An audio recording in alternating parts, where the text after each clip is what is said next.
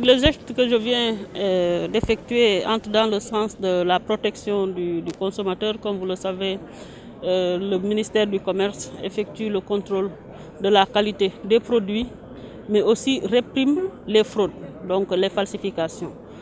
Donc aujourd'hui, euh, nous allons procéder à la destruction d'environ 320 tonnes de produits, dont certains étaient impropres à la consommation, certains étaient falsifiés, d'autres étaient produits sans être conformes à la législation en vigueur. Donc sur la valeur de ces 320 tonnes, c'est environ 662 millions de, francs CFA.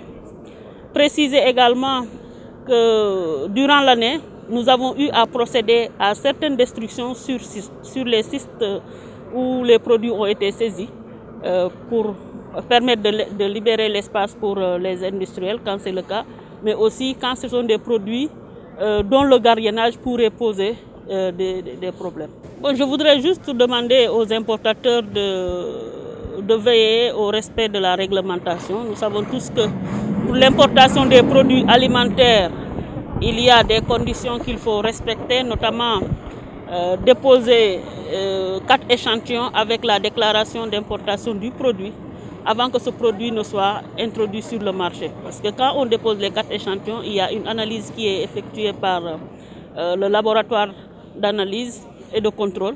Et donc, si les résultats sont concluants, le produit est admis sur euh, le territoire sénégalais. Il ne sert à rien d'importer un produit, de dépenser beaucoup d'argent et après de perdre ce produit. Donc, ce serait bien de, coller vraiment à la réglementation pour éviter euh, ces situations désagréables.